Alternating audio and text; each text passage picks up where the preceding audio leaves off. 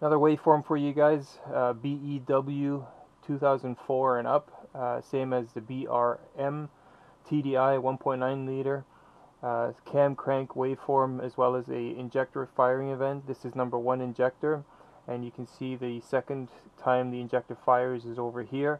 These blue traces in between are the other injectors. Uh, it's just that my uh, scope was picking up all the firing events. Obviously these were not as clear because um, it's not a direct connection to the to those injectors.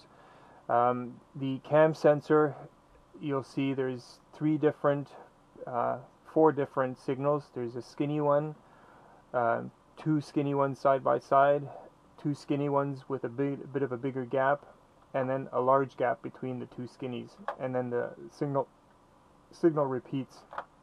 And crankshaft, you see there's one, two, three, four, uh, um, four missing tooth events between the two revolutions. Um, so basically, what's happening is that there are two staggered um, uh, sync notches, I call them now, uh, on the crankshaft, and then they repeat. So half a revolution from here to here is a half a revolution. So you've got one one sync notch here, um, half of rotation of crankshaft. There's another one, and then this this sync notch here is this original one over here, and then you've got this sync notch, which is this one, and then back to repeating. So again, there's uh, two sync notches per revolution and then there's two revolutions of the crankshaft between fire between cylinder one firing. Um, download the waveform, download the Snap-on software, and then you can play with it yourself. You can zoom in, and then you can see re really nicely how the signal is looking and how it's offset or not. Um, and then obviously the injector firing before top dead center. Um, I'm going to insert a picture of the uh, two, two narrow sync notches here uh, as they are in the engine at top dead center. This does not indicate top dead center.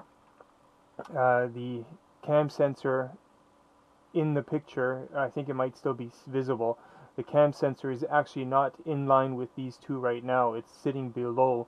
Uh, so that tells me the top, actual top dead center is somewhere around in this area.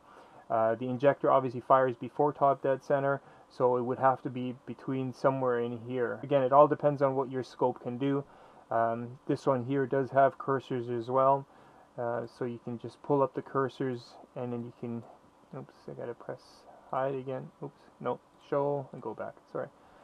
Uh, so you have the two cursors and then it does show you some um, measurements down here in terms of distance, milliseconds, and frequency.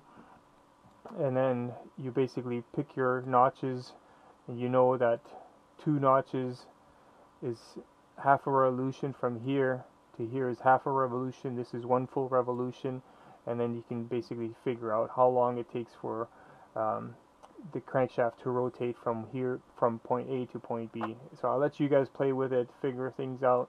Uh, long story short, this is a known good uh, cam, crank, and injector sync or waveform for a BEW PD uh, engine 1.9 liter BEW BRM.